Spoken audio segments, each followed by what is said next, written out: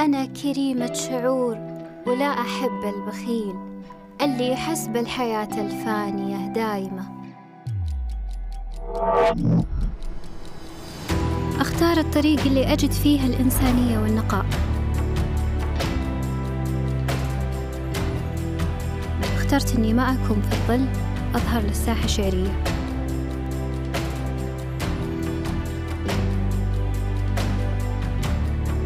أكبر تحدي واجهته إني أشوف دمعة والدي على باب البيت وأجي هنا على شاعر المليون عشان أحقق طموحاتي. أنا بشاير المقبل التميمي تذكرون.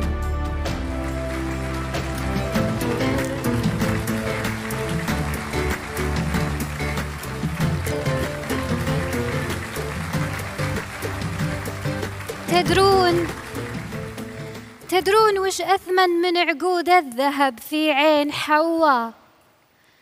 اللي اجفلت بين الظروف وعندها رجل وليدة يكبر قدر لا من تصاغر وانثقل حمله تقوى. ما تشتكي غيداه في في جناحينه لهيده ذاك الأمان ذاك الأمان اللي نعيشه عند ملا قال سوى يشبه وقوفي للكبار وفي يدي أجزى القصيدة. السلام عليكم ورحمة الله وبركاته. أسعد الله مساءكم بالمسرات. نص القصيدة. جراهيد ونهيت سباع وعتام وطريق أشراك. تشابه علمه غيبة. حدث غدروق من قلبي وصارت قفرة شفاهي مصب الوادي الرمة. ركضت ألين صدري صار غربال وهواه دراك زبنته في مراقيبة. نبيل قد ملك عرش الوداد وقنن أشباهي وصف الهامي تجلد صبري العود العتيق وعوزي الفتاك وجهم تفرش محاريبه تحت سدرة صلاة الفجر نوخ عذري الواهي وخذت شماغها شمة. أرايك أرايك متكي فيها ملاكن من جذور الراك أخذ طهره وأخذ طيبه تحت هالة سكينة همدت واهج تشراهي سأل. لبيه يا يمه جثيت وقلت يا ملجا الأمان بهالدروب انخاك جفا قلبي زواريبه ورايا الصبح وفروق الحمام ودلتك جاهي تزعفر بنها دمه يا بوي يا أبوي ادخل على الله من وهانك لا تشوف انهاك. زماني زاد تثريبه توال الوقت ما فصل ربيعي ثوبه الزاهي صدى وقدامي بجمه. سواليفك قراح كنها زمزم بعد لمساك. دوا روحي مشاريبه وبسماتك نعيم سرمدي غير متناهي تزم القلب وتضمه. غيوط الشيب بحجاجك تحيك حرام للنساك وقارم في ذرى هيبة. وبسماتك وتجاعيدك وتجاعيدك علامات اقتباس الشاعر راهي وصف تاريخ هالأمة. عصاتك ناي معزوفة سلام إيقاعها ممشاك أنا وشيحة مطاريبة. ومسباحك رجاي بجوف نون العالم اللاهي قداين عزة اليمة. تغطرس وانتهض واطغى وخذ بارودك وشلفاك. أنا دامك معي ذيبة تمركب الحشا غير زولك آمر الناهي. مدي حلي حنو ذمة كبير أحلامي وشفي وغاياتي بشسع حذاك أبد لا يلحق كريبة. أجل وش عاد يا وجد تولج طرفك الساهي؟ يعلي عنك من همه. أي عبد العزيز المقبل؟ أي عبد العزيز المقبل؟ أي عبد العزيز المقبل؟ اسمعني عسى يفداك. أتله من تلابيبه. قصيدي لين يوقف بك على الأشهاد متباهي. لعله لعله يبري الذمة. ولا مرة خسرت رهان حطيته على محياك. تجمل شيبة شيبة. اللي ناديت لك دلة يجاوب لي تنداهي. عرب وشعوب ملتمة. يا شيخي يا شيخي عزي البنتن. أبوها مثلك وشرواك كبر طيبة عذاريبة وتركها وتركها ما لقت فيها الحياة الظفرة مضاهي ويجاوبها هلا يمه سلامتكم.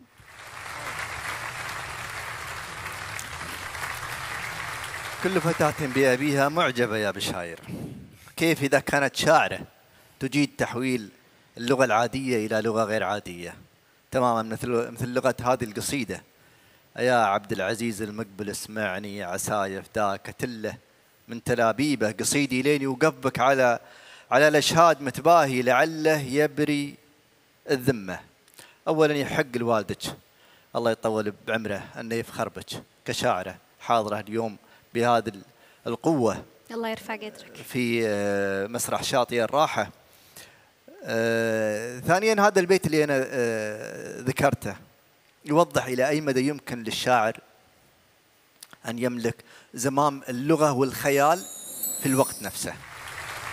والجميل يا بشاير أني وجدتك وأنت آه، يعني تنسجين آه، أبيات هذه القصيدة أنك كنت تمسكين بريشة ريشة فنان في نفس الوقت وأنت آه، تصفين المشاهد وفي نفس الوقت مع هذه الريشة كنت تخطين خطاطة بخط جميل.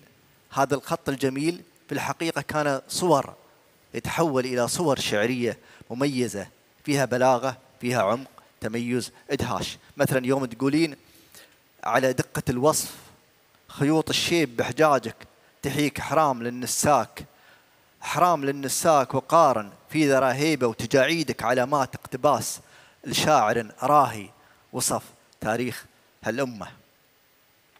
حتى الوزن اللي كتبتي عليه أيضا كتبتي بتمكن آه، على طول كل آه، شطر والتفعيلات التراكيب اللي موجودة فيه تنوع التفعيلات المركبة كتبتيه بدون حشو. آه، باقتدار كنت من يقود الصورة من يقود المعنى من يقود اللغة لا العكس. بعض الشعراء القافية هي اللي تقوده الوزن هو اللي يقوده يعني يضطر إنه يستخدم كلمة معينة وهذا ما وجدته أيضا في القصيدة. لكن لنترك التصوير على طرف ولأذهب إلى فكرة القصيدة القائمة على تصوير مكانة الأب والافتخار به وعلى قدر خفض جناح الذلة اللي ربنا أمرنا به في القرآن الكريم. جناح الذل من الرحمة لأن النص مليء بالشموخ شموخ البنت اللي تفتخر بابوها ومهتمة ومأثرة فيها كافة تفاصيله وأدق هذه التفاصيل تفاصيل حياته تفاصيله الشخصية المشاعر تجاهه. النص مليء بالألوان والروائح والأصوات فجاء متوهج بمعنى الكلمة. يحق لوالدك وأسرتك أنهم يفتخرون بك يا بشاير شكرا على هذه القصيدة. الله يرفع قدرك أستاذ. بشاير بشاير المقبل. يحق لعبد العزيز الله يشافيه ويحفظه ويطول عمره أن يفتخر في بنته البطلة. ولاخوانك ولكل حمولتك اللي أنت منهم. حضورك حضور آه، للأمانة شموخ واعتزاز وبشايرك انك جيتي تبشرين بانه الشعر النسائي بهذا النقاء وبهذه الجزالة. كثير من الإعلاميين والصحافة يسألون وين الشعر النسائي لكن نقول إحنا شعر المليون فعلا استطاع أن يغري هذه الأسماء وهذه المواهب الجميلة. شاير حضرتي حضور اليوم مميز ومتفرد بالجمال من اختيارك لهالطرق هذا. طبعا الطرق الطويل قلة من الشعراء اللي اللي يكتبون عليه لعدة أسباب. قد يكون على حساب الشعر. كل ما كان الطرق طويل قد يكون فيه تهلهل وتجد فيه مفردات حشو آه، في شطر البيت حتى تسكر الجمل الموسيقية. إلا أنه بشاعر متمكنة وعندك مخزون ثقافي مخزون مفردات ولغوي كذلك. من الغدروق وإلى تلابيبه وإلى كثير من المفردات والقرا حلمة المفردات الأصيلة اللي أعتقد من بيئة بشاير استمدتها. آه، طبعا مثل ما قال أبو علي أخوي سلطان عن موضوع النص والبنت آه، ومشاعرها تجاه والدها بيكون طبعا في هذا الإحساس وهذا الشعور الجميل. من الشماغ اللي اخذتي وتشمينه وأنا عايش آه، إحساسك واعتزازك وافتخارك فيه إلى أن صورتي خيوط الشيب بحجاجك تحيك. حرام للنساك وقار في ذا رهيبة وعصاتك ناي معزوفة سلام إيقاعها ممشاك إلى آخره. طبعا هذا الطرق آه، ليس من الصعوبة على أي شاعر أن يكتب مثل هذه الطوارق الطويلة. لعل الحدى واضح هني وتفعيلاته زدتي عليه كذلك تفعيلات مضاعفة. فطبعا مثل ما قلت هناك طواريق ما تناسب بشاير المسرح خصوصا بعض الشعراء آه، يحتاج إلى نفس حتى يلقي بتمكن مثل هذه الطوارق الطويلة إلا أنك اليوم كان هدوءك المناسب لموضوع هذا النص أيضا كان يحسب لبشاير.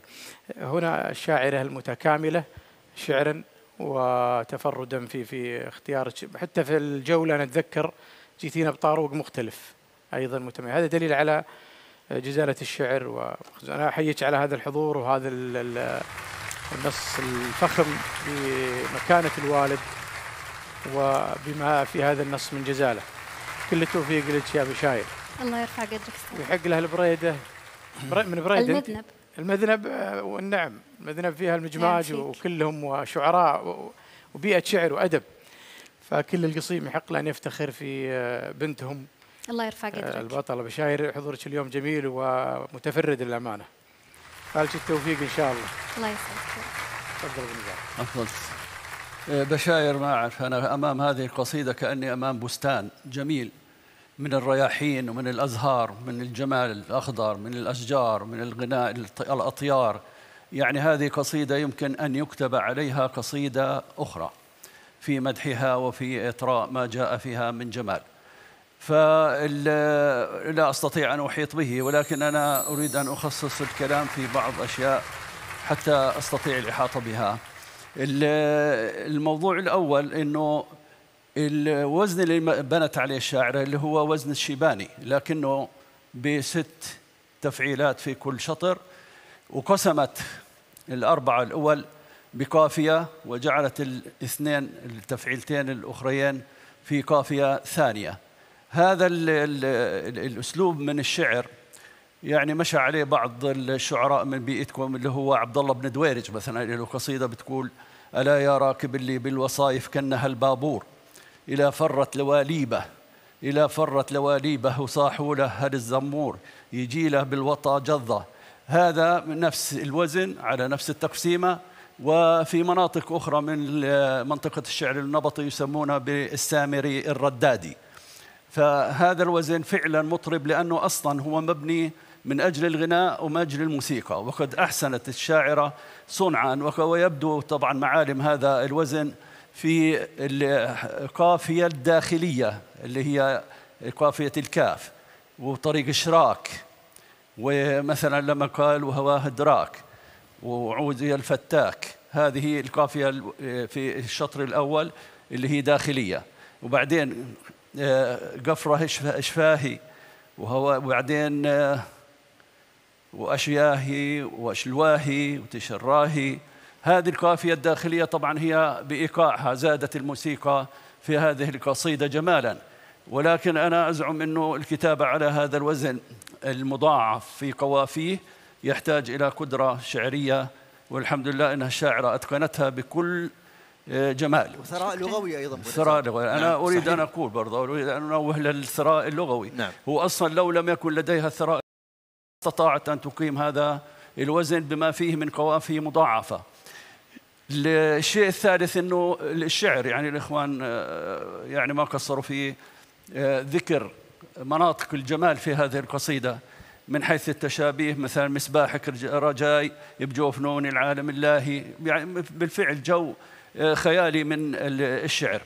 الشاعرة بدت ال- القصيدة بأسلوب الجملة الفعلية لأنها كانت في حركة ركضت مثلا لما قالت آه، جهمت إلى آخره. وبعدين انتقلت للجملة الإسمية لما صارت توصف في أشياء آه، الوالد حفظه الله سواليفك وبسماتك وتجاعيدك كل هذه بدت فيها أبيات أخرى من أجل التمكن بالوصف. أعجبني جدا إنه لما قالت يا عبد العزيز المقبل قبل كانت تخاطب أبوها الأب. فهي تخاطب من انتمائها إليه لكن لما قالت يا عبد العزيز المقبل لم تخاطبه بهذا الأسلوب وهذا في رأيي يدل على أن أنها تريد أن تقصد إنه ليس لأن هذا الشخص أبي هو يحمل هذه الصفات الجميلة وإنما هو حتى لو ذكرناه بالاسم كشخص بالشخوص سوف نجد عنده هذه الصفات الجميلة التي تستحق هذه آه، الإشادة. طبعا هنا في عندنا في هذه القصيدة كثير من اللمسات الإنسا- الإنسانية النسائية في جوها العام على الإطلاق وفي خفض الجناح الموجود عند الشاعرة الذي نراه في كل سطر من هذه السطور الجميلة التي أمامنا. أنا أشكر بشاير على هذه القصيدة الثرية للغاية والمدهشه في معناها وفي مبناها. شكرا. شكرا يا دكتور تستاهل بشاير ونزار ملاحظة بس ما تشوف أن القافية الداخلية قسمت الشطر الأول إلى جزئين. طبيعة ال- وهذا اللي هو اللي, اللي آه، زياده الموسيقى لكن لو. تشوف الانسيابية في الشطر الثاني بدون بدون هالصنعة. هو هذا نهج لا الثاني- موجود هذا أبو خالد. كانت كانت أجمل. موجود لا، هذا يعني موجود. مش من ابتكار الشاعر الثاني. موجود إيه. القوافي الداخلية موجودة لا فيه. حتى التقسيم اللي سوته في الشطر الأول. ولا أبو نزار؟ في الشطر الأول وفي الشطر الثاني التقسيم نعم. موجود. على الهاء. الشطر الثاني على الهاء. الأول على الكاف. بس بنفس هذا الشكل ابو خالد موجود نفسه. أيضا الانسيابية في العجز عندي أكثر من في في آه الصدر. بس هي موجود. هذا وهذا في وقفة فن. واضحة عند الكاف. نعم. هو وقفة هي أصلا تقصد هذه الوقفة. يعني هنا الشاعرة تريد أن تضاعف الموسيقى وتضاعف القوافي. وهذا الشيء كله تعب على الشاعرة ولكن الشاعر المتمكن يستطيع أن يتقن هذا الشيء كما فعلت بشاير. شكرا يا بشاير. شكرا. الشكر. للجنة التحكيم وتستاهلنها الإشادة من لجنة التحكيم وفالج التوفيق يا بشاير.